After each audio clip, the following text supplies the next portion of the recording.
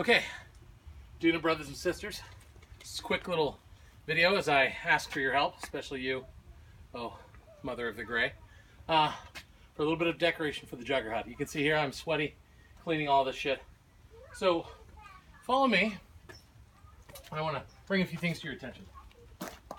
So the Jugger hut comes equipped with grommets on each corner and along the sides, also with loops that are meant for in wind to be tied to a string and staked down.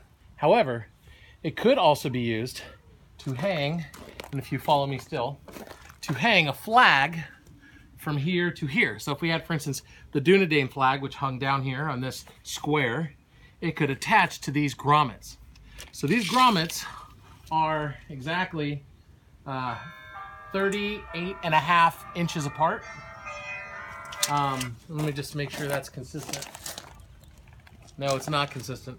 So this next one is about 40, 40 and a half. Um, these ones are 20.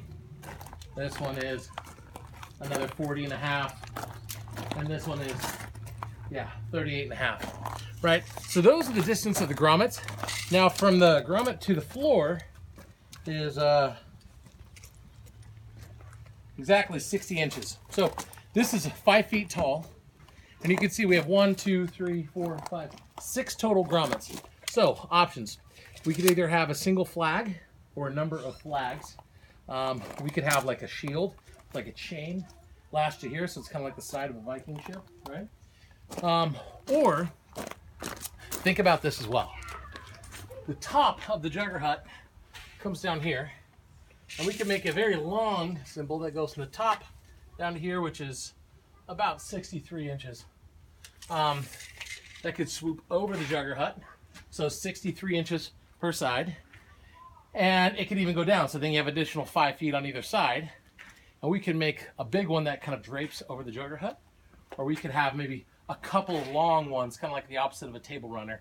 You know, big one here, big one here, big one here, so that there's a symbol not just on the sides, but on the top face of the jugger hut as well. So I'm trying to figure out is how do we utilize this top space and the side space. I don't want to use any of the doors because we're constantly opening and closing the doors, and I think it'll just get messed up. Um, and eventually I want to put in two big stakes right here. Funk. And one right here. Funk. Maybe with like a big work head on either side, warning to the Rukai.